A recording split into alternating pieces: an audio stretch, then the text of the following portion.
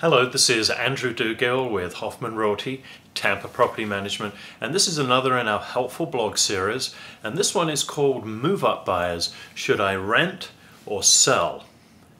Now, in the last couple of years, about a quarter of all the inquiries to our office have been from move up buyers.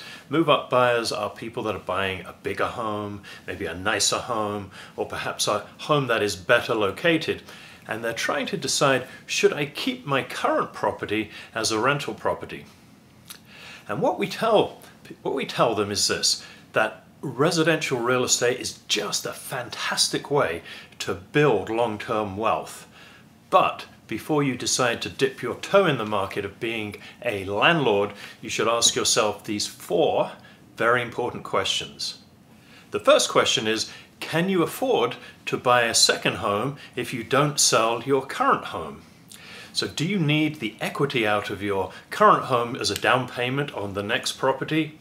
And if you've got a mortgage on your current property, can you get a second mortgage if you don't sell your current home? The second question to ask yourself is, do you have the financial resources to own two properties? This is particularly important if you'll have two mortgages, one on the old home and one on the new property. Now, even if the rent on the old property is enough to cover the monthly mortgage payment, there's still going to be times when you're going to have to come out of pocket on the old property. For example, if there are vacancies, if there are you know, routine repairs, or major major repairs. For example, perhaps you need a new air conditioning system, maybe a new exterior paint job, perhaps you've got to replace the interior carpet do you have the financial resources to cover both properties? So question number three is, are you prepared to be a landlord? Now, even if you hire a good property manager to rent your property and take those 2 a.m. maintenance calls, how will you feel if uh, a renter complains and wants maintained things about your old property that you were perfectly acceptable to tolerate? For example, what about that shower that has low water pressure or the back door that you have to lift slightly to lock. If that type of stuff is going to drive you crazy, don't become a landlord.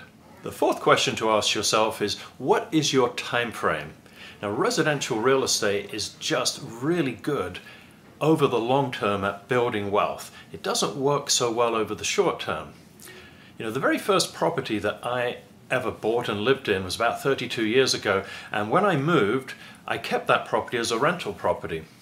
Now, over the last 32 years, the price has increased and my renters have helped pay off that mortgage. So I now have really great equity in that property.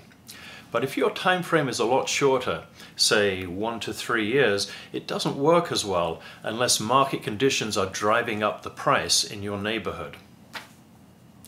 So these are the four important questions to ask yourself if you're a move-up buyer considering keeping your current property as a rental. If you have questions about the blog today, please contact us. We'll be happy to talk to you. Thank you very much.